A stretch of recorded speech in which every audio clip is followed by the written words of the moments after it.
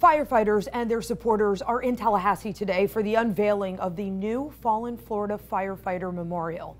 The memorial is in honor of the 197 firefighters who died in the line of duty. But this memorial is not the only point of focus for this group in Tallahassee. A few are also meeting with the lobbying group, Florida Professional Firefighters, to talk about the future of the Florida Firefighter Cancer Bill. So we have been covering this bill extensively for the past week. 10 News reporter Madison Alworth spoke to the president of the Florida Professional Firefighters today about how they are gearing up for this fight. For the fourth time in as many years, there is a bill in the Florida House and Senate looking to cover firefighters who develop one of 21 different cancers. It has failed to reach the floor each year, and despite having over 60 co sponsors in the House, this year looks no different. Because it did not get heard in that sub in that first substantive committee, under their rules, it's pretty much dead. Which puts the bill in a tough position in the Senate. The Senate may not spend a lot of time on a bill that is dead in the House.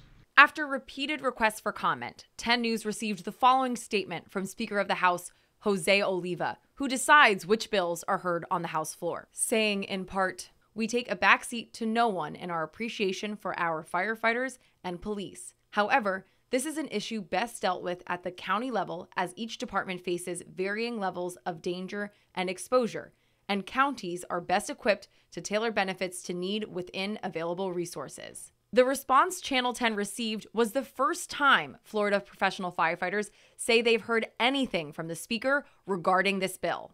We have uh, told him we would love to talk to him about his concerns and see if we could find some compromise. That was in early February. We've reached out several times to confirm can we get a meeting? We're, we're, we were, are willing to meet anytime uh, and have not been uh, granted a meeting or not even heard anything back for that matter. Now, the group is more frustrated than ever the political process is flawed here.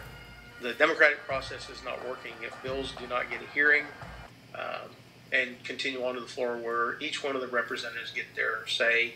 So much so, they may decide to go a completely different route. Obviously, uh, a ballot initiative is, is an option. We have the ability to do that. Pursuing a referendum is not necessarily easier. There are three key steps. First, the initiative sponsors have to get enough signatures. They need the equivalent of 8% of the amount of voters who went to the polls in the last presidential election. That would be just over 766,000 signatures. And those can't all be from the same part of the state. There need to be Floridians who sign the ballot initiative from more than half of the congressional districts.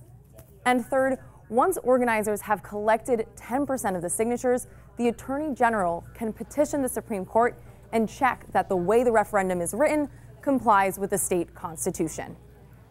Something that we're going to continue to keep our eyes on following this legislation and this fight.